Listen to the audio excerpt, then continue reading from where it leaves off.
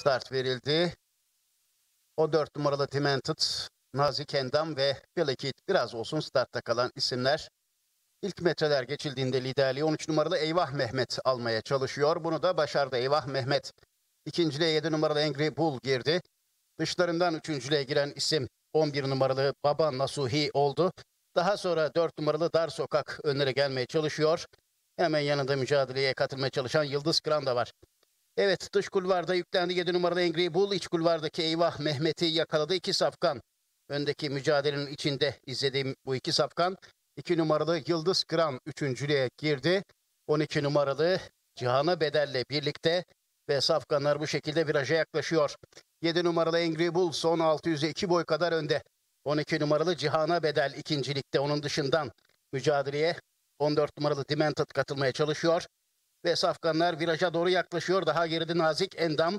En dışta Geyikli de var. Atlar düzlüğe çıktı. 7 numaralı Angry Bull önde. Dışında 12 numaralı Cihan'a Bedel. Şimdi Angry Bull'u yakalamaya çalışıyor. Evet son 200'e doğru gidiliyor. Yıldız Kran.